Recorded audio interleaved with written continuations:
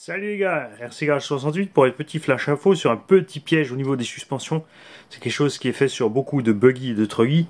Euh, ça dépend des marques et c'est même pas toujours au même endroit. Je m'explique, vous avez ici une vis noire et une vis, euh, argentée.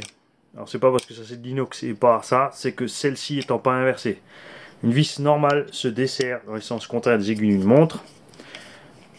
Et pour la serrer, c'est dans le sens des aiguilles d'une montre cette vis-ci, c'est l'inverse. Vous la serrez en principe pour la desserrer et il faut la desserrer pour la remettre. Alors, sur Obao, c'est à l'avant droite et à l'arrière gauche. Euh, sur certaines autres marques, ça va être du même côté, ou euh, le train avant n'est pas inversé, le train arrière les autres. Euh, à quoi ça sert, je ne sais pas vraiment. J'ai jamais vu de vis se desserrer toute seule ici au niveau des suspensions, avec le travail des suspensions, comme ça peut arriver par exemple sur des axes de Traxa Slash ou le Scorpion XL à l'avant.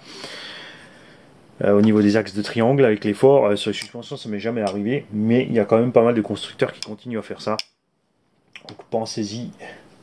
Vous ne faites pas avoir. Si vous serrez, euh, si vous voulez desserrer, vous continuez à serrer, vous allez tout simplement tourner en vide. La vis ne sortira jamais.